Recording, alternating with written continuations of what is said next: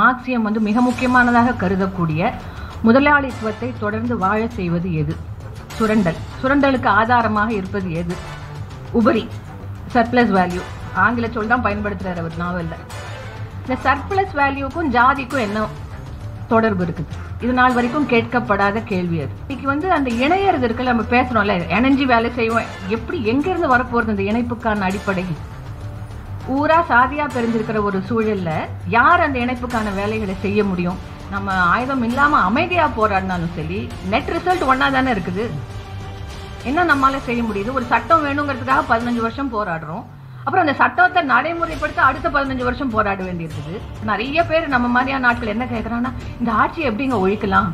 என்னமோ நம்ம கையில ஒரு மந்திர கோல் இருக்கிற மாதிரியும் இந்த ஆட்சி அதை மந்திர கோலை திறந்தா ஆட்சி ஒழிஞ்சிடும் மாதிரியும். அம்பேத்கர் ஒரு வகையில வந்து மிகப்பெரிய உளவியலாளராகவும் இருந்திருக்கிறார். ஏன்னா சாதி மனுஷன் என்னெல்லாம் பாடுபடுத்துதுங்கிறத ரொம்ப தெளிவா புரிஞ்சிட்ட ஒரு உளவியலாளர் அவர். சாதிக்கு எதிரான போராட்டம் நாம் ஒவ்வொருவரும் நம்முடனே நடத்தக்கூடிய போராட்டமாகத்தான் இருக்க முடியும். இன்னும் எல்லாருக்குள்ளேயும் ஒரு சாதி இருக்குது.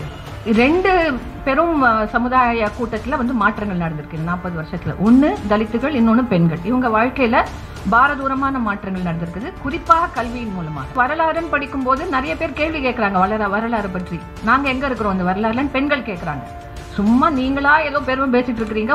உங்க வீட்டில் ஆக்கி போடாட்டி நீங்க என்னத்த பண்ணிருக்கிற முடியுங்கிற ஒரு அடிப்படையிலேருந்து கேட்குறாங்க அவங்க.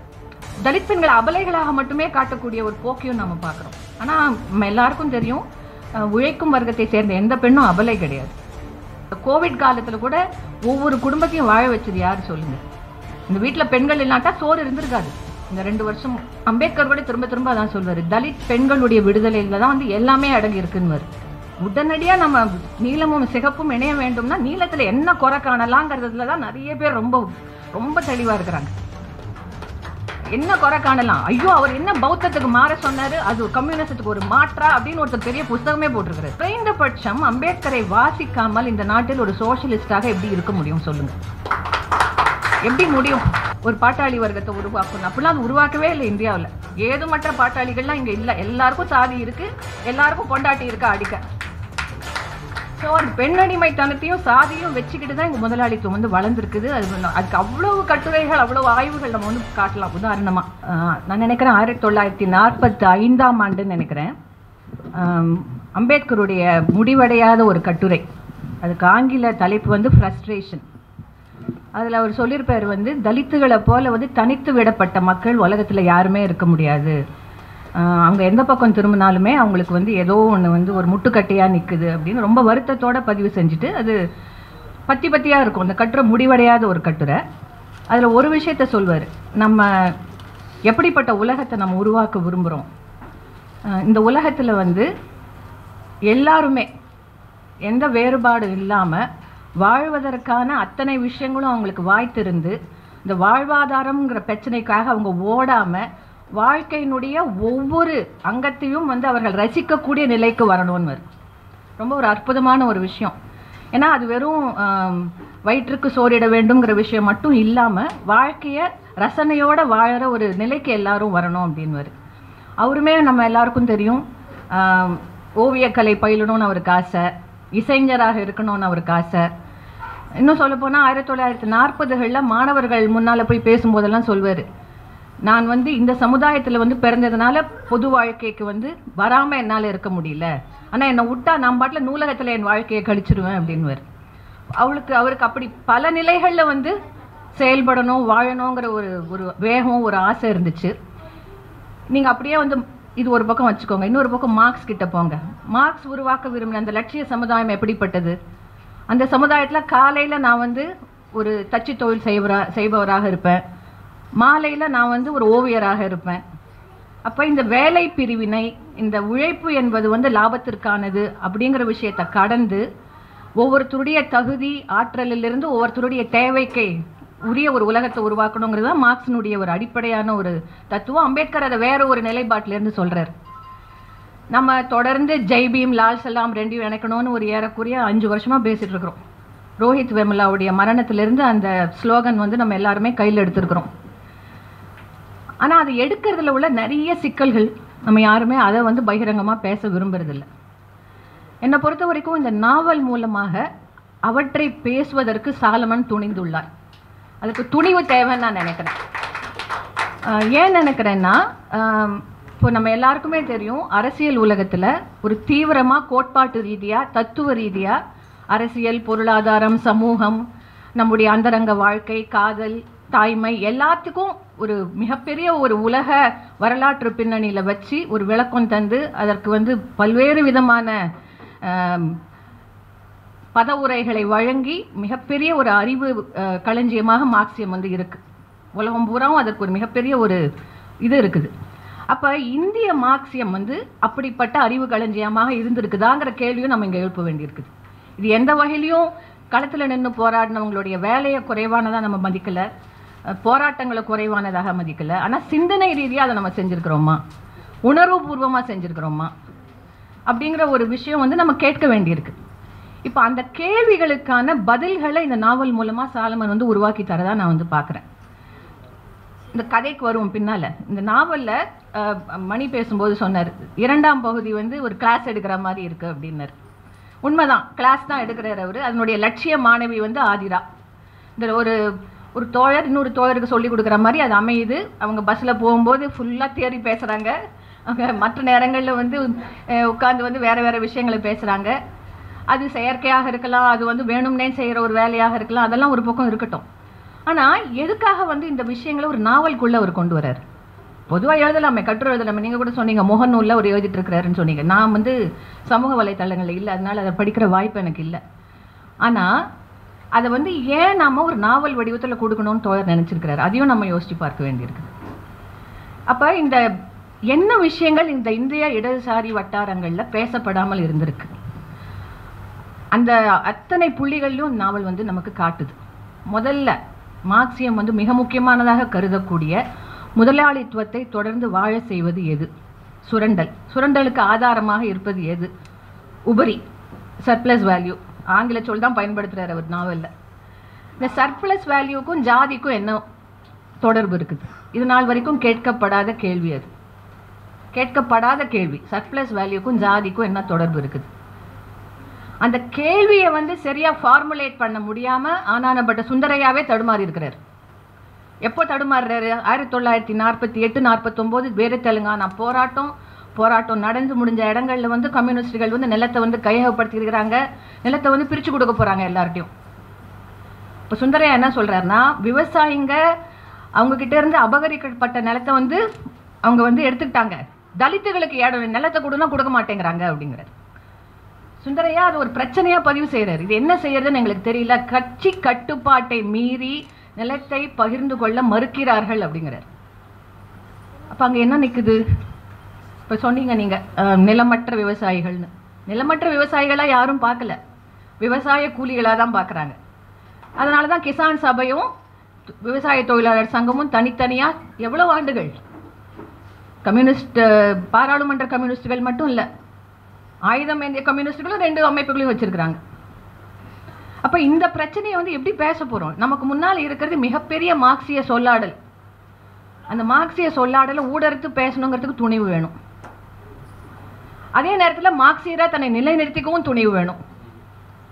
இது வந்து ரெண்டு பக்கத்துல இருந்தும் நல்லா அடி வாங்குறதுக்கான ஒரு மிகப்பெரிய முயற்சி.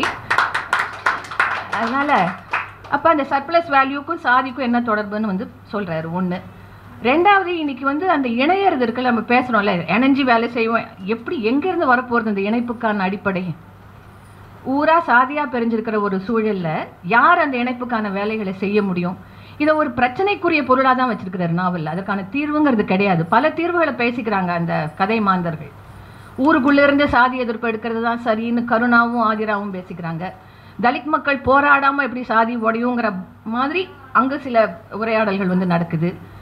ஆனால் இதற்கு தீர்வுங்கிறது என்ன? ஒரு குறிப்பான தீர்வு இருக்க முடியுமா? கண்டிப்பாக இருக்க முடியாது. ஏன்னா மார்க்ஸ்க்கே போவோம் மறுபடியும். மார்க்ஸ் என்ன சொல்கிறாரு மனிதர்கள் வரலாற்றை படைக்கிறார்கள். ஆனால் அவர்களுக்கு வழங்கப்பட்ட சூழ்நிலைமைகளில் தான் அந்த வரலாற்றை படிக்க முடியும். நமக்கு வழங்கப்பட்ட சூழ்நிலைமையில துல்லியமா நம்ம எதை சொல்ல முடியும்? இவங்க தான் எடுக்கணும் அவங்க தான் எடுக்கணும்னு ஒரு கற்பனையார்ந்த வகையில பேசலாம் நம்ம ஒரு நன்னம்பிக்கையின் பெயர்ல பேசலாம். ஆனா அது ரெண்டையுமே வந்து ஒரு ஒதுக்கிட்டு இது இப்படி அது அப்படின்னு சொல்லிட்டு விட்டுறாரு நம்ம யோசிப்போம். நாவலுடைய முடிவும் அதை தான் நமக்கு காட்டுது. இப்போ போராளியாக அவர் நிற்கிறாரு ஆனால் அந்த ஒவ்வொரு போராட்டமும் எவ்வளோ உயிர்களை வந்து பலி வாங்கியிருக்குது. இப்போ காரணையை பற்றி தோயர் சொன்னார். இந்த தொண்ணூறுகளில் நடந்த எவ்வளோ போராட்டங்கள் எவ்வளோ உயிர்களை வாங்கியிருக்குது நம்ம எல்லாருக்கும் ஒரு கணக்கு போட்டோம்னா அது மிகப்பெரிய கணக்காக நிற்கும். இப்போது பீகார் மாநிலத்தில் வந்து நீங்கள் பார்த்தீங்கன்னா நக்சல்வாதிகள் வந்து தொடர்ந்து மக்களை ஒருங்கிணைச்சு மிக தீரமான போராட்டங்கள்லாம் நடந்திருக்கிறாங்க நடத்தியிருக்கிறாங்க.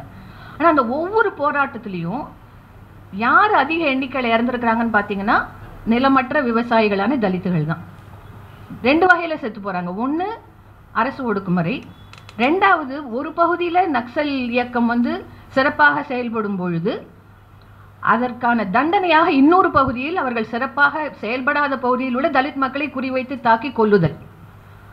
அதுவும் நடந்திருக்குது வந்து.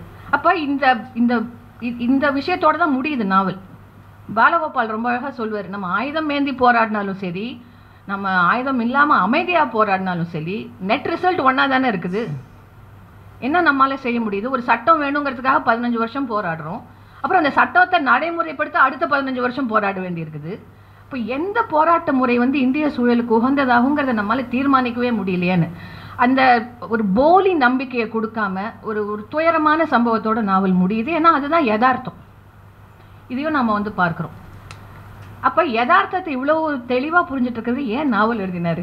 அவர் பாட்டில் போராளியாக இருந்திருக்கலான்னு நம்ம எல்லாருக்குமே ஒரு கேள்வி வரும் தானே. ஏன்னா நீங்கள் பேசுகிற அத்தனை பேரும் அதை தான் சுட்டி காட்டினீங்க. அவர் அவ்வளோ பெரிய கள போராளி அவ்வளோ வேலை செய்கிறாரு அவருக்கு எங்கே நேரம் இருந்துச்சு? இவ்வளோ வாசிக்க எங்கே நேரம் இருந்துச்சுன்னு. ஆனால் ஒரு நாவல்ங்கிற வடிவத்தை தேர்ந்தெடுப்பதற்கான காரணத்தையும் நம்ம கொஞ்சம் யோசிக்கலாம்.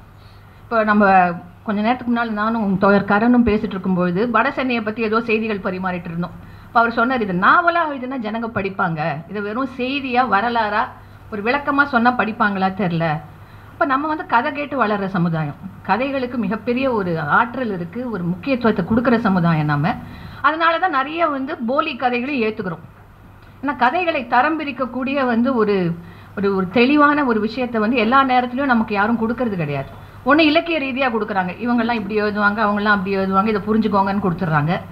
அல்லது வந்து அரசியல் ரீதியாக கொடுக்குறாங்க. இவங்கன்னா இப்படி தான் பாய் எழுதுவாங்க அவங்க தான் பாய் எழுதுவாங்கன்னு சொல்லிட்டு. ஆனால் ஒரு கதை செய்யக்கூடிய வேலையை நாம் எப்படி புரிந்து கொள்வது என்பதற்கு யாருமே நமக்கு தெளிவாக ஒரு வழிகாட்டுதலை கொடுக்கறது கிடையாது. இப்போ இதே சாலமன் வந்து ஒரு கட்டுரையாக எழுதியிருந்தாருன்னா எப்படி இருந்திருக்கும்? இப்போ அந்த சர்ப்ளஸ் வேல்யூ விஷயத்தையே நீங்கள் வைங்களேன் ஒரு கட்டுரையாக எழுதியிருந்தாருன்னா எவ்வளோ மேற்கோள்கள் காட்டியிருக்கணும் எவ்வளோ பேரோட முட்டி மோதணும்? இப்போ அதையெல்லாம் இல்லாமல் ஒரு கதாபாத்திரத்தின் மூலம் அது சொல்லப்படும் பொழுது என்ன ஆகுதுன்னா அது அவர் வேற மாதிரி செஞ்சிருக்கலாம் அதெல்லாம் நம்ம அவர்கிட்ட வாதிடலாம் அது வேற விஷயம்.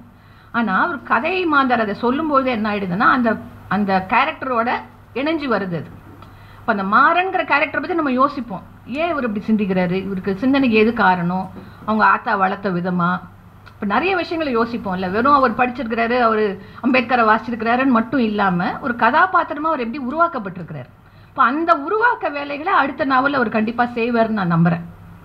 இதுல வந்து கருத்தளவுல சில விஷயங்களை சொல்லியிருக்கிறாரு. அந்த கருத்துக்களை சுமந்து வாழக்கூடிய மனிதர்களை அடுத்த நாவலில் கண்டிப்பா இன்னும் ரத்தமும் சதையுமா படைக்க முடியுங்கிற நம்பிக்கை எனக்கு இருக்கு. ஏன்னா அதற்கான எல்லா விதமான முன்னோட்டமும் இதுல இருக்குது. சின்ன சின்ன குறிப்புகள் சின்ன சின்ன விஷயங்கள். இப்போ நான் நடேசன் தாத்தாவுடைய கேரக்டராக இருக்கட்டும். இல்லை அது சும்மா வந்துட்டு அப்பப்போ வந்துட்டு போகிற சாமுவேலுடைய கேரக்டராக இருக்கட்டும். அதுக்கான விஷயங்கள்லாம் கொஞ்சம் கொஞ்சமாக அதில் இருக்குது.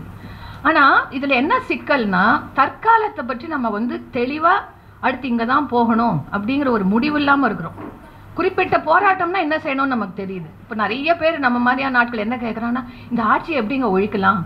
என்னமோ நம்ம கையில் ஒரு மந்திர கோல் இருக்கிற மாதிரியும் இந்த ஆட்சி அதை மந்திர கோலை திறந்தா ஆட்சி ஒழிஞ்சிடும் மாதிரியும். நம்ம கையில் அப்படிப்பட்ட எந்த மந்திர கோலும் கிடையாது. அப்போ எல்லாருக்குமே ஒரு தெளிவாக ஒரு முடிவு தேவைப்படுது. ஏதாவது செய்யணுங்கிற ஒரு வேகம் இருக்கு. அவ்வளவு துன்பம். அப்போ அந்த அந்த வேகம் அந்த விஷயத்தை வந்து நம்ம பதிவு செய்யும் பொழுது உடனடியான தீர்வு என்பது சாத்தியமில்லை. அதே நேரத்தில் நம்பிக்கை எல்லாருக்கும் இல்லாட்டி நம்ம எழுதவே வேண்டியது இல்லைல்ல நம்ம பாட்டில் அரெஸ்ட் ஆகிட்டே இருக்கலாம். அது மட்டும் அவர் செய்யலை எழுதணும்னு நினச்சிருக்கிறாரு.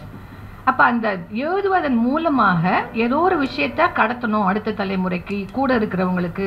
அது இந்த வகையில் சொன்னால் வந்து வாழ்க்கையோடு நினச்சி பார்ப்பாங்க தங்க கதையாக நினச்சிக்குவாங்க. அப்படிங்கிறத மாதிரி சில விஷயங்களை கொண்டு போகிறதுக்கான ஒரு வடிவமா நாவலை தேர்ந்தெடுத்திருக்கிறாரு. இதுல இன்னொன்று என்ன பாக்குறீங்கன்னா நாவல்ல தான் மனித உளவியலை நம்மளால புரிஞ்சுக்க முடியும். ஒரு கோட்பாட்டு ரீதியா அதை வந்து நம்ம விளக்கி கொள்ள முயற்சி செய்யலாம். அம்பேத்கர் ஒரு வகையில வந்து மிகப்பெரிய உளவியலாளராகவும் இருந்திருக்கிறார். ஏன்னா சாரி மனுஷன் என்னெல்லாம் பாடுபடுத்துதுங்கிறத ரொம்ப தெளிவா புரிஞ்சிட்ட ஒரு உளவியலாளர் அவர். அவர் கொலம்பியாவில் படிக்கும்போது சமூக உளவியல் பாடங்கள்லாம் படிச்சிருக்கிறார். அப்போ அது அது அது ஒவ்வொருத்த மனசுலையும் பாலகோபால் அழகா சொல்லுவார். சாதிக்கு எதிரான போராட்டம் நாம் ஒவ்வொருவரும் நம்முடனே நடத்தக்கூடிய போராட்டமாகத்தான் இருக்க முடியும். எல்லாருக்குள்ளேயும் ஒரு சாதி இருக்குது. அப்போ அந்த உளவியலை புரிஞ்சுட்டு என்ன சாத்தியங்கிறத யோசிக்க வேண்டியிருக்கு. அதில் வந்து நீங்கள் பார்த்தீங்கன்னா அதுக்கான ஒரு சின்ன முயற்சி இந்த நாவலில் செஞ்சுருக்கிறார். இப்போ அந்த இவர் வர்றாருல அந்த முதலியார் அந்த அப்பா சண்முக முதலியார். அவர் என்ன செய்யறது நம்ம? சொல்லுங்கள் மகக்கிட்ட கிட்ட இருக்கிறார். நம்ம இமயம் கதையில் வர பெத்தவனில் வர அப்பா மாதிரி. மக மேலே கொள்ள பாசம். ஆனால் இந்த கொள்ளை பாசத்துக்கு ஏற்ற மாதிரி ஒரு சாதி வெறி. நம்ம இதை பிடிச்சிட்டு ஒரு மோசமான மனுஷன் சொல்ல போகிறோமா இல்லை இந்த பாசத்தை பார்த்துட்டு இல்லை ஒரு தேறி வந்துருவாருன்னு நினைக்க போகிறோமா இது உண்மையிலேயே நம்ம ஒவ்வொருத்தரும் நம்முடைய வாழ்க்கையில் சந்திக்கிற பிரச்சனை. நமக்கு தெரிஞ்ச எவ்வளோ நபர்கள் அப்படி இருக்கிறாங்க. இப்போ என் குடும்பத்தில் ஏறக்குறைய தொண்ணூற்றி ஒன்பது சதவீதத்தினோட என்னால் பேச முடியல இன்னைக்கு. யாருமே வீட்டுக்கு வர வேணான்ட்டு. யாருமே ஒன்று நம்ம வந்து பழைய கால அந்த அந்த இது வரும்ல மலரும் நினைவுகள் மாதிரி பத்து வயசில் செஞ்சதெல்லாம் பேசிக்குவோம். தற்காலத்தை பற்றி பேசுறதுனா வீட்டுக்கே வராதீங்க யாரும் ஏன்னா அப்படி ஒரு ஒரு மனநிலையில் ஜனங்க இன்னைக்கு இருக்கிறாங்க. ஒரு இறுக்கமான மோசமான கொடூரமான மனநிலை. ஆனால் அவங்கவுங்க வீட்டில் போய் புள்ள குட்டியோடு இருக்கிறாங்க. அமித்ஷா கூட பேரனை தூக்கி கொஞ்சிறாரு கொஞ்சிறாரு ஃபோட்டோலாம் போட்டிருந்தாங்களே. அமித்ஷா கூட தான் பேரனை தூக்கி கொஞ்சிறாரு அப்போ இது எப்படி நம்ம புரிஞ்சுக்க போகிறோங்கிறத வந்து ஒரு சிக்கல் படுத்தியிருக்கிறார் அவர். கொஞ்சம் வந்து ஒரு ஒரு ஒரு அவரை ஒரு நல்ல மனிதா காட்டு காட்டுவதில் ஒரு அவசரம் கூட இதில் இருக்கலாம் அந்த கதையில். அது வேற விஷயம். ஆனால் இது ஒரு சிக்கல். இது ஒரு உண்மையான சிக்கல். இதுக்கு என்ன தீர்வு இருக்க முடியும் சொல்லுங்க. ஏ லேசான தீர்வு எதுவுமே கிடையாது இதுக்கு. அதையும் நம்ம பார்க்குறோம் இன்னொன்று என்ன செஞ்சிருக்கிறாருன்னா இந்த கடந்த முப்பது இந்த இவர் எடுத்திருக்கிற காலகட்டம் பார்த்தீங்கன்னா ரொம்ப இன்ட்ரெஸ்டிங் ஏன்னா ஆரம்பத்தில் கூட சொன்னாங்க அது பேசும்பொழுது. ஒன்று வந்து நம்ம நிறைய சமூகவியல் ஆய்வுகள் என்னத்தை காட்டுதுன்னா இந்தியாவிலேயே மிக அவசர அவசரமாக நகரமயமாகும் மாநிலங்களில் நம்ம மாநிலம் ஒன்று பயங்கரமாக வந்து அர்பனைசிங் டெண்டன்சி தமிழ்நாட்டில் ரொம்ப அதிகமாக இருக்குது. மற்ற இடங்களை காட்டிலும் ரொம்ப ஃபாஸ்ட்டாக இது நடக்குதுன்னு. அப்போ கிராமம் நகரத்துக்கு இடையில உள்ள அந்த கோடு இருக்குல்ல அந்த இடைவெளி அந்த ரோடு அந்த பாதை அது எப்படினாலும் நம்ம புரிஞ்சுக்கலாம்.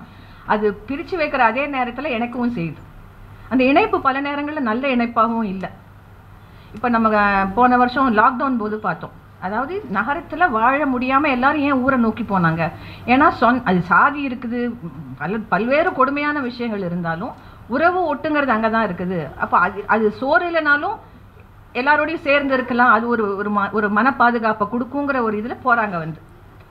ஆனால் அதே ஊர் வந்து எவ்வளவு ஒரு மோசமான ஒரு சூழ்நிலையை வந்து உருவாக்கி தருது இளைஞர்களை எப்படி கட்டுப்படுத்துதுங்கிறத நம்ம நாவலில் பார்க்குறோம். அப்போ அந்த சண்முக முதலியார் கேரக்டர் தான் அதுக்கான சிம்பல் கட்டுப்படுத்துது கொடூரமாக இருக்குது பாசத்தை போய்விது இப்போ அம்பேத்கர் சொல்வாரில் எல்லாம் கிராமத்தை விட்டு வெளியே வாங்கன்னு. அவர் நகரவாசி என்னால் அவருக்கு கிராம வாழ்க்கை நேரடியான அனுபவம். ரொம்ப சின்ன வயசில் வேணாலும் இருந்திருக்கலாம் அப்புறம் கிடையாது. ஆனால் இந்த கிராமங்கிறது ஊர் சேரி மட்டும் இல்லை இயற்கை நினைவுகள் அங்கே இருக்கிற விஷயங்கள் அதை ரொம்ப முக்கியமான விஷயங்களை அவர் காட்டியிருக்கிறாரு. ஒவ்வொரு அத்தியாயத்தினுடைய தொடக்கமும் அதுதான். அந்த லேண்ட்ஸ்கேப்பை வந்து ஏன் நம்ம முக்கியமாக பார்க்க வேண்டியிருக்குது? இந்த லேண்ட்ஸ்கேப் எப்படி ஒரு மனுஷனை உருவாக்குது ஒரு ஆளுமையை செதுக்குது நமக்கு வாழ்வதற்கான ஒரு காரணமாக இருக்குதுன்னு. ஸோ அதை விட்டு நீங்கிட்டு வர்றதும் ரொம்ப கஷ்டம். ஆனால் அது அப்படியே வச்சுருக்கிறதும் கஷ்டம். இது என்ன செய்ய முடியும்? இதுக்கு லேசான தீர்வு எதுவும் கிடையாது. ஸோ இந்த மாதிரியான விஷயங்களை கேரக்டர் மூலமாக தான் நம்ம சொல்ல முடியும். அங்கே வாழுற ஜனங்க அதை எப்படி பார்க்குறாங்க எப்படி புரிஞ்சுக்கிறாங்க? இங்கே தான் பெண்களும் தலித்துகளும் வந்து மிக முக்கியமான கதை மாந்தர்களாக ஆகிறாங்க. ஏன்னா இந்த நா ஒரு இருபது இந்த நகரமயமாக்கம் தொடங்கி ஒரு முப்பது வருஷம் வச்சு நம்ம வச்சுக்குவோம். முப்பது நாற்பது வருஷம் கூட வச்சுக்கலாம். நம்ம நவதாராளவாத கொள்கை எப்போ பிரகடனப்படுத்துகிறாங்களோ அப்போலேருந்து கூட வச்சுக்கலாம். நைன்டிஸ்லேருந்து வச்சுக்கலாம். ரெண்டு பெரும் சமுதாய கூட்டத்தில் வந்து மாற்றங்கள் நடந்திருக்கு இந்த நாற்பது வருஷத்துல. ஒன்று தலித்துகள் இன்னொன்னு பெண்கள். இவங்க வாழ்க்கையில பாரதூரமான மாற்றங்கள் நடந்திருக்குது. குறிப்பாக கல்வியின் மூலமாக.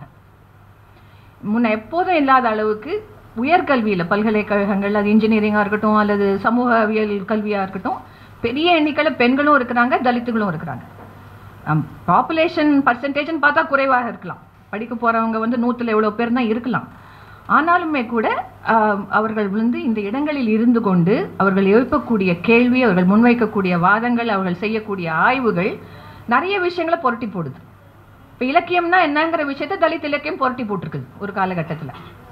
அதே மாதிரி இன்னைக்கு வந்து வரலாறுன்னு படிக்கும்போது நிறைய பேர் கேள்வி கேட்குறாங்க வளர வரலாறு பற்றி. நாங்க எங்க இருக்கிறோம் அந்த வரலாறுலன்னு பெண்கள் கேட்குறாங்க சும்மா நீங்களா ஏதோ பெருமை பேசிட்டு இருக்கிறீங்க உங்க- வீட்டில் ஆக்கி போடாட்டி நீங்க என்னத்த பண்ணியிருக்கிற முடியுங்கிற ஒரு அடிப்படையிலேருந்து கேட்குறாங்க அவங்க. ஸோ இந்த ரெண்டு சமுதாயத்துலேயும் மாற்றங்கள் வந்ததுனால ஒரு இலக்கமும் வந்திருக்குது. அந்த இலக்கத்தை தான் நம்ம பார்க்குறோம். ஆதிராவிலையும் பார்க்குறோம். மாறன்கிற அந்த கேரக்டர்லையும் பார்க்குறோம். இப்போ இவங்க ரெண்டு பேரும் இணையறது தமிழ்நாட்டில் ஏறக்குறைய எல்லா நேரங்கள்லையுமே வந்து ஒரு அவலமாக அவல அவலத்தில் தான் போய் முடிஞ்சிருக்குது. ஏன்னா அது ஒரு காதல் கதையாக மட்டும்தான் நமக்கு சொல்லப்பட்டிருக்கு. அங்கே காதல் கதையாக சொல்லப்படும் போது அது இளவரசன் திவ்யாவாக இருக்கட்டும் கண்ணகியும் அவங்க கணவராக இருக்கட்டும் இல்லை ஹோசூரில் நடந்த நந்தி நந் அவங்களாக இருக்கட்டும் அது ரொம்ப சோகமாக ஒரு மிக கொடூரமான ஒரு வன்முறையில் தான் போய் முடிஞ்சிருக்குது. பல நேரங்களில் நாமும் அதை மட்டுமே பிடிச்சிக்கிட்டு காதலிப்போம் சாதியை கடந்து காதலிப்போங்கிறத ஒரு ஸ்லோகனாக மாற்றிருக்கிறோம் அது நல்ல விஷயம் அதில் யாருக்கும் மாற்றுக்கிறது கிடையாது. ஆனால் தோழமை திருமணம் தாம்பத்தியம் கடந்த உறவுகள் அப்புறம் ஒரு கருத்து ரீதியில் ஒன்றிணைவது அதை பற்றி நாவல் பேசும். இப்போ இந்த மாதிரி பரந்துபட்ட தோழமைகளை உருவாக்க வேண்டிய அவசியத்தை வந்து இந்த காலகட்டம் நமக்கு காட்டுது. அதுக்கு ஒரு சின்ன முயற்சியாக அவர் அதை வந்து கொண்டு போயிருக்கிறாரு. ரெண்டாவது பெண்களுடைய நிலைப்பாட்டிலிருந்து ஒரு விஷயத்தை பார்க்கும்போது என்னெல்லாம் புலப்படும் நமக்கு? என்னெல்லாம் நம்ம தவற விட்டுறோம்? இதில் எனக்கு ஒரு சின்ன குறை என்னென்னா தோழர் ஆதிராவுக்கு இணையான ஒரு தலித் பெண் கதாபாத்திரத்தை நீங்கள் உருவாக்கியிருந்தால் இன்னும் சிறப்பாக இருந்திருக்கும். ஏன்னா இன்னைக்கு நிறைய தலித் பெண்கள் படிக்கிறாங்க. நிறைய பெண்கள் வெளிநாடுகளுக்கு வெளியூர்களுக்கு போகிறாங்க அங்கே வந்து மலருடைய எழுச்சியான கேரக்டர் நல்லா இருக்குது ஆனால் ஆதிராவுக்கு இணையாக சிந்திக்கிற யோசிக்கிற ஒரு ஒரு கேரக்டர் நீங்கள் உருவாக்கி இருந்தீங்கன்னா இன்றைக்கு இருக்கக்கூடிய தலித் பெண்களின் வாழ்க்கையில் என்னெல்லாம் மாற்றங்கள் நடந்திருக்குதோ அதற்கான மிகப்பெரிய ஒரு சிம்பலாகவும் அது இருந்திருக்குங்கிறது என்னுடைய கருத்து வந்து. அது யோசிக்கலாம் நீங்கள் கண்டிப்பாக. ஏன்னா இன்னைக்கு தலித் பெண்களை அபலைகளாக மட்டுமே காட்டக்கூடிய ஒரு போக்கையும் நம்ம பார்க்குறோம். ஆனால் நம்ம எல்லாருக்கும் தெரியும் உழைக்கும் வர்க்கத்தை சேர்ந்த எந்த பெண்ணும் அபலை கிடையாது. கஷ்டம் வரும் நஷ்டம் வரும் அடி விழும் அதெல்லாம் வேற. ஆனால் அவற்றையெல்லாம் கடந்து தொடர்ந்து வந்து ரொம்ப மோசமான சூழ்நிலைமைகள். இந்த கோவிட் காலத்தில் கூட ஒவ்வொரு குடும்பத்தையும் வாழ வச்சது யார் சொல்லுங்கள் இந்த வீட்டில் பெண்கள் இல்லாட்டா சோறு இருந்திருக்காது. இந்த ரெண்டு வருஷம் எப்படி தான் அந்த அம்மாக்கள் சோறாக்கி போட்டாங்கங்கிறது மிகப்பெரிய ஒரு ஒரு ரகசியம்தான் அது. ஏன்னா வருமானம் கிடையாது. எதுவுமே இல்லாமல் அங்கே கடன் வாங்கி இங்கே கடன் வாங்கி அவ்வளவு பெரிய வேலையை அவங்க செய்கிறாங்க அது சாதாரணமாக செய்கிறாங்க அப்போ அப்படிப்பட்ட ஒரு சூழல்ல இருந்து வளர்ற ஒரு பெண் படித்து அடுத்த கட்டத்துக்கு போகும்போது அவள் எப்படிப்பட்டவளாக இருப்பாள் அதை நம்ம கொஞ்சம் நிறைய யோசிக்கலாம்னு நான் நினைக்கிறேன் வந்து. ஏன்னா அம்பேத்கர் கூட திரும்ப திரும்ப அதான் சொல்வார் தலித் பெண்களுடைய விடுதலையில் தான் வந்து எல்லாமே அடங்கி இருக்குன்னு ஸோ அதை நம்ம கொஞ்சம் நாவல் நாவலினூட யோசிக்கலாம்னு தோணுது. கடைசியாக வந்து ஒரே ஒரு விஷயத்தை மட்டும் சொல்ல விரும்புகிறேன் திரும்பவும் இந்த இடதுசாரி விஷயங்களுக்கு நான் வர விரும்புகிறேன் ஏன்னா அது உங்களுடைய நீங்கள் எடுத்துகிட்டு பேசுகிற விஷயத்துக்கு ரொம்ப முக்கியமானதாக இருக்கிறதுனால தொடர்ந்து சிகப்பு நீளம் இணையணுங்கிறது வந்து எல்லாரும் பேசுகிறோம் தோழர் கூட சொன்னாங்க அதில் சிப சிகப்பை வந்து அவர் அவங்க அப்படியே அங்கங்கே தொட்டு காட்டுறாங்கன்னு. வருத்தத்துக்குரிய விஷயம் என்னென்னா உழைக்கும் வர்க்கத்தை சேர்ந்த தலித்துகள் வந்து சிகப்பை தொட்டு காட்டுறாங்க. உழைக்கும் வர்க்கத்தை சேர்ந்த சாதி இந்துக்கள் நீளத்தை எவ்வளோ தொட்டு காட்டுறாங்கன்னு நமக்கு ஒரு ஒரு ஆடிட் நடத்தலாம்னு எனக்கு தோணுது. ஒரு ஒரு ஆர்டிஐ போடலாம்னு தோணுது. ஒரு சமூக ஆர்டிஐ நம்ம போடலாம். ஒரு பண்பாட்டு ஆர்டிஐ போடலாம்னு எனக்கு தோணுது. ஏன்னா அதை நம்ம வந்து ஒரு சின்ன உதாரணம். எனக்கு ரொம்ப பிடித்தமான ஒரு நாவல் ஆசிரியரை பற்றி நான் சொல்ல விரும்புகிறேன் தமிழ்ச்செல்வி ஏன்னா பெண்கள் வாழ்க்கையை பற்றி அவ்வளவு உழைக்கும் பெண்களை பற்றி ரொம்ப சிறப்பாக எழுதக்கூடியவங்க. அவங்க வந்து ஒரு குறிப்பிட்ட சமுதாய பின்னணியிலேருந்து வரக்கூடிய சிறு கு குறு நில விவசாய பின்னணியில் வரக்கூடியவங்களை பற்றி தான் எழுதுகிறாங்க இப்போ அவங்க தொழிற்சாலைகளை பற்றி எழுதியிருக்கிறாங்க. ஒரு நாவலில் வந்து இங்கேருந்து தஞ்சாவூர் வேதாரண்யம் அந்த சைட்லேருந்து திருப்பூருக்கு பழைக்க போகிறப்போ பெண்களை பற்றி ஒரு கதையில் கொஞ்சம் பதிவு செஞ்சுருக்கிறாங்க. தமிழ்ச்செல்விட்ட நான் கேட்டேன் நீங்கள் எழுதுறதெல்லாம் சரி ஆனால் உங்கள் ஊரில் சாதியே கிடையாத மாதிரி எழுதுறீங்களே? அப்படின்னு கேட்டேன். எப்படிங்க முடியும்? ஒரு விவசாய சமுதாயத்தை பற்றி எழுதும்போது யாரோ ஒரு கையில் நிலம் இருக்குது யார் கையிலையும் நிலம் இல்லைல்ல? அல்லது நிலம் இருக்கிறவங்க மத்தியிலும் ஏழைங்க இருக்கிறாங்கல்ல? அப்போ என்ன அதை எப்படி நம்ம புரிஞ்சுக்கலாம்? எப்படி அந்த சாதிங்கிற சொல்ல பயன்படுத்தாமல் விவசாய சூழலை வச்சு ஒரு நாவல் எழுத முடியும்னு? அவங்க அடுத்து வந்து கண்ணகின்னு ஒரு நாவல் எழுதினாங்க. முழுக்க முழுக்க ஒரு தலித் பெண் உழைப்பாளியை மையப்படுத்தி. பெண்களாலேயாவது கொஞ்சம் அவங்களுடைய நிலைப்பாட்டிலேருந்து அகன்று சிந்திக்க முடியுது. ஆனால் முற்போக்கு ஆண் எழுத்தாளர்களுடைய எழுத்தில் அது எந்த அளவுக்கு சாத்தியப்பட்டிருக்குன்னு எனக்கு தெரில நான் எல்லாத்தையும் படிக்கலை. படித்த விஷயத்துலேருந்து நான் சொல்கிறேன் இன்னும் சொல்லப்போனால் துரதிருஷ்டவசமாக உடனடியாக நம்ம நீளமும் சிகப்பும் இணைய வேண்டும்னா நீளத்தில் என்ன குறை காணலாங்கிறதுல தான் நிறைய பேர் ரொம்ப ரொம்ப தெளிவாக இருக்கிறாங்க. என்ன குறை காணலாம்? ஐயோ அவர் என்ன பௌத்தத்துக்கு மாற சொன்னார்? அது கம்யூனிசத்துக்கு ஒரு மாற்றா அப்படின்னு ஒருத்தர் பெரிய புஸ்தகமே போட்டிருக்கிறாரு. புஸ்தகம் போடுறது பற்றி பிரச்சனை இல்லை. உண்மையிலேயே உங்களுக்கு பௌத்தத்தில் அக்கறை இருந்து நீங்கள் ஃபுல்லாக ரிசர்ச் பண்ணி பௌத்தர்களை போய் பேசி கேட்டு போட்டிருந்தீங்கன்னா பிரச்சனை இல்லை. ஆனால் அம்பேத்கர் சொல்லக்கூடிய வாதங்களை வந்து சம்மட்டடி அடிக்கிறதுக்காக சொல்லும்பொழுது நமக்கு எப்படி நம் நம்பிக்கை வரும்? இதற்காக வந்து நான் தலித்துகள்லாம் செய்கிறதெல்லாம் சரின்னு ரொமான்டிசைஸ் எல்லாம் நான் பண்ண விரும்பல. அந்த வாதத்துக்கே நான் போகலை. ஆனால் குறைந்தபட்சம் அம்பேத்கரை வாசிக்காமல் இந்த நாட்டில் ஒரு சோஷியலிஸ்டாக எப்படி இருக்க முடியும் சொல்லுங்க. எப்படி முடியும்? அது ரொம்ப முக்கியமானது. இந்த நாவலில் வந்து அதுதான் எனக்கு ரொம்ப பிரமிப்பாக இருந்துச்சு. டோலர் ரொம்ப லே அப்படி போகிற போக்கில் இந்த தியரிட்டிக்கல் விஷயங்கள் எல்லாம் அப்படி தூவிட்டு போகிறாரு ஆனால் இது ஒவ்வொன்றும் நம்ம பேச உட்காந்தோம்னா நம்ம பத்து வாலியும் எழுதலாம். சாதிக்கும் உபரி மதிப்புக்கும் சுரண்டலுக்கும் உள்ள உறவு பற்றி நம்ம பேசலாம். நிறைய பேசலாம். அம்பேத்கர் அதுக்கான இது நம்ம கொடுத்துருக்கிறாரு. டூல்ஸை கொடுத்துருக்கிறாரு. அது மகர் மக்களுக்கு வந்து அந்த காலத்தில் அவங்க தொண்டு ஊழியம் செய்யறதுக்காக வந்து கொஞ்சம் நிலத்தை ஒதுக்குவாங்க. அதனுடைய பொருள் என்னன்னா நீங்கள் நிலத்தை வச்சுக்கிட்டு சந்தோஷமா விவசாயம் செய்யணுங்கிற அவசியம் இது கிடையாது. ஜாதி தலைவருக்கு ஒதுக்குவாங்க. இந்த நிலம் உன் கையில் இருக்கிற வரைக்கும் நான் என்ன சொன்னாலும் நீ கேட்கணும். செத்த மாடு தூக்குனா தூக்கணும் பற அடினா அடிக்கணும். இப்போ அவர் சொல்லிட்டு எனக்கு வேணாங்கிறாரு. இந்த நிலத்தை தூக்கி போடுங்க எனக்கு என்னத்துக்கு? என்னுடைய அடிமைத்தனத்தின் சின்னம் தானே இதுங்கிறார். இப்போ இதையும் வந்து சுந்தரையா வந்து தெலுங்கானாவில் வந்து வெட்டி முறை பற்றி எழுதுவார். இந்த ஆண்டைகளுடைய வீட்டில் வந்து தொண்டு ஊழியம் செய்ய வேண்டிய ஒரு ஒரு கடப்பாடு இருக்குது நிலமற்ற விவசாயிகளுக்கு. அதுதானே இது? தொண்டு ஊழியத்தின் இன்னொரு வடிவம். இப்போ அந்த தொண்டு ஊழியம் செய்வதை வந்து அவர் என்ன சொல்கிறாருன்னா இதிலிருந்து கூலிக்கு மாரடிக்கிறது எவ்வளோ பெரு பரவாயில்ல. அடுத்த ஒரு ஹிஸ்டாரிக்கல் ஸ்டேஜுக்காவது போய் சேருவோம்ல. ஒரு அடிமை நிலையிலிருந்து ஒரு ஒரு ஒரு கான்ட்ராக்ட் அப்படிங்கிற ஒரு விஷயத்துக்கு போகிறோம்ல ஒப்பந்தத்தின் அடிப்படையில் வேலை செய்கிற ஒரு விஷயத்துக்கு போகிறோம்ல நம்ம. நான் வேலை செய்கிறேன் நீ எனக்கு காசு கொடு. என் பிறப்பு இறப்பெல்லாம் நீ வந்து பார்க்கக்கூடாது. ஆனால் இங்கே என்னன்னா இந்தியாவில் அந்த மாதிரி வேலைக்கு எடுக்கிறவங்க கூட வந்து சாதியோட சேர்ந்து தான் விஷயங்களை செய்கிறாங்க இப்போ கார்ப்பரேட் கம்பெனி இன்னைக்கு நேற்று இன்னைக்கு மட்டும் இல்லை என்றைக்குமே இந்திய முதலாளித்துவம் சாதியையும் பெண்ணடிமைத்தனத்தையும் அப்படியே வச்சுக்கிட்டு தான் வந்து தன்னை வளர்த்துட்டு இருக்குது. நமக்கு பொதுவாக சொல்லப்படும் மார்க்சியமில் என்ன ஏங்கல்ஸ் என்ன சொல்கிறாரு இது எல்லாம் வந்து அது கபலீகரம் செஞ்சுக்கிட்டு அது வந்து ஒரு ஒட்டுமொத்தமான ஏதுமற்ற ஒரு பாட்டாளி வர்க்கத்தை உருவாக்கணும். அப்படிலாம் அது உருவாக்கவே இல்லை இந்தியாவில். ஏதுமற்ற பாட்டாளிகள்லாம் இங்கே இல்லை. எல்லாருக்கும் சாதி இருக்கு எல்லாருக்கும் பொண்டாட்டி இருக்கா அடிக்க. ஸோ அந்த பெண்ணடிமைத்தனத்தையும் சாதியும் வச்சுக்கிட்டு தான் இங்கே முதலாளித்துவம் வந்து வளர்ந்துருக்குது. அது அதுக்கு அவ்வளவு கட்டுரைகள் அவ்வளோ ஆய்வுகள் நம்ம வந்து காட்டலாம் உதாரணமாக இன்னொன்று பார்த்தீங்கன்னா இந்த நாவல் அது ரொம்ப தெளிவாக வந்து சொல்லப்படுது. இந்த கார்ப்பரேட் முதலாளிகளுக்கு சாதி இல்லைன்னா அவங்களால செயல்பட முடியாது. அப்போ அதனால தான் அந்த நாவலில் கடைசியில் வர அந்த இரண்டு தோழர்கள் வேம்பு முரளி அதை வேறு வேறு மாதிரி சொல்லி பார்க்குறாங்க இதோட நான் முடிச்சுட்டேன். இதில் என்னென்னா நமக்கு பெரிய சிக்கல் பாரதி சொல்வார்ல பேசா பொருளை பேச வந்தேன்னு சொல்லிட்டு. இப்போ நம்முடைய அம்பேத்கருடைய சிந்தனையை உள்வாங்கிக்கிட்டு அந்த நிலைப்பாட்டிலிருந்து ஒரு சோஷலிசத்துக்கு நம்ம வரும்பொழுது இதுவரைக்கும் சிந்திக்க இயலாமல் இருந்த சில விஷயங்களை சிந்திக்க வேண்டிய ஒரு பெரிய வேலையை நம்ம எல்லாரும் தலையில் சுமந்துக்கிறோம். இப்போ அந்த வேலையை நம்ம வந்து ஒரு கதையாக கொண்டு போகும்பொழுது அந்த கதைக்கு வந்து எது வந்து ஒரு ரத்தத்தை வந்து ரத்தமும் சதிவுமாக இருக்கும்னா அப்படிப்பட்ட விஷயங்களை உள்வாங்கி வாழ்ந்து செரித்து ஒரு சமுதாயமாக இருக்கிறவங்களை பற்றி நம்ம பேசினோம்னா அதுக்கு ஒரு ஃபார்ம் கிடைக்கும். ஆனால் அப்படிப்பட்ட சமுதாயம் நம்ம இன்னும் உருவாக்கலை. ஸோ அந்த வகையில் இது ஒரு தியரிட்டிக்கலாக தான் இருக்க முடியும். ஒரு கிளாஸ் மாதிரி தான் இருக்க முடியும்னு நினைக்கிறேன் மணினா ஒரு வகுப்பாக தான் இருக்க முடியும். ஏன்னா நம்ம மார்க் சொல்கிறார்ல வரலாறு அழிக்காத ஒரு சூழ் எந்த இதுவும் அழிக்காத ஒரு விஷயத்தை நம்மளால் எப்படி உருவாக்க முடியும்? ஆனால் அதே நேரத்தில் எப்பொழுதுமே சோஷலிஸ்டுகளுக்கு எது பெரிய ஒரு ஊன்றுகோலாக இருந்திருக்குதுன்னா ஒரு எதிர்பார்ப்பு ஒரு கற்பனை உலகம். அந்த உலகத்தை நோக்கி நம்ம போகணுங்கிற ஒரு அவா அது எப்படியாவது நம்ம எதையாச்சும் இப்போவாது செய்யணுங்கிற ஒரு வேகம். இப்போ இதையெல்லாமும் நம்ம இந்த நாவலில் வந்து பார்க்குறோம். ஆனால் அதே நேரத்தில் போராடுறதுங்கிறது வேற நாவல் எழுதுறதுங்கிறது வேற. இந்த ரெண்டையும் நம்ம வந்து லட்சிய சமுதாயத்தில் தான் இணைக்க முடியும்.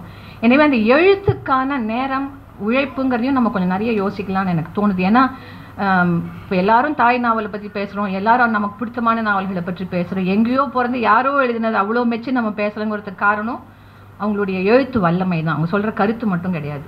இப்போ அந்த கருத்துக்குரிய கதை மாந்தர்களை கொஞ்சம் சிக்கலான ஒரு உளவியலை கண்டிப்பாக அடுத்து அவர் எழுதக்கூடிய எழுத்தில் நம்மால் வந்து எதிர்பார்க்க முடியும்னு எனக்கு வந்து தோணுது. ஏன்னா அந்த அனுபவம் அவருக்கு இருக்குது. நன்றி.